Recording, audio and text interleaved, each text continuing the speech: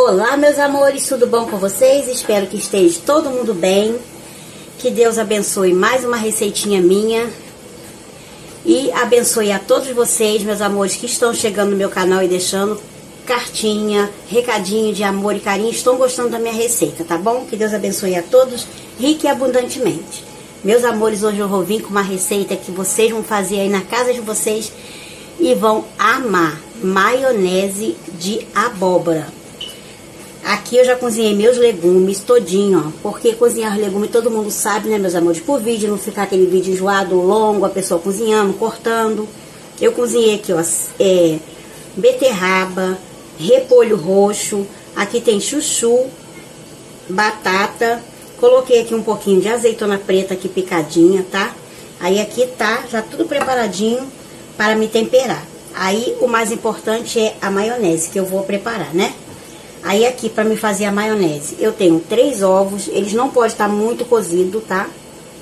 Aí vou bater no liquidificador, ó, três ovos, aqui tem cinco dentes de alho, meia cebola roxa, salsinha, a abóbora cozida, ó, com a casca e tudo, que essa abóbora tá uma beleza.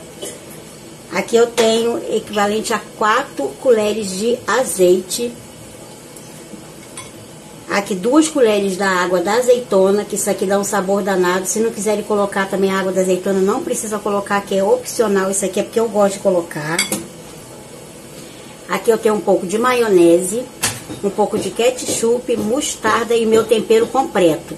Aí eu vou botar tudo no liquidificador e bater para fazer aquela maionese deliciosa para a gente temperar qualquer coisa. Vocês podem estar tá fazendo, é, colocando em pão, para estar tá comendo com, com torrada. Fica uma delícia, tá bom, meus amores? Então eu vou botar ele no liquidificador e bater juntinho com vocês. Colocar a abóbora. água da azeitona, o azeite. Que aqui esse horário eu tenho que gravar tudo rápido. Aí colocar aqui, ó, já picadinho o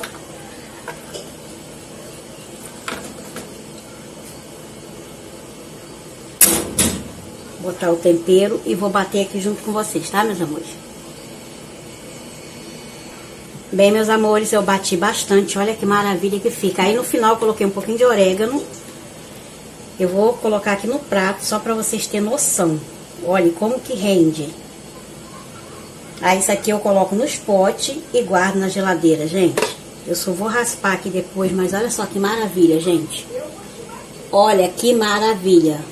Tá vendo? Eu não posso ficar gravando assim direto, né?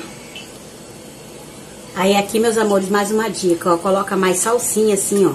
Sem bater, ó. E faz assim, ó. Mistura para ficar mais, ó, perfeito, gente. Faça aí na casa de vocês que vocês vão amar.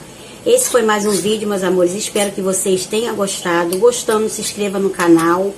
Deixe os comentários de vocês aí para ver, para me estar tá sabendo se vocês estão gostando do vídeo, tá? Fiquem todos com Deus. Um bom final de semana para todos. Uma boa semana abençoada por Deus. E, ó, beijo no coração de vocês.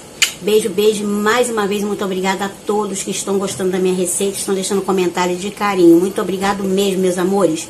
Kiss, kiss. Bye, bye. Até a próxima. Tchau, tchau. Fui.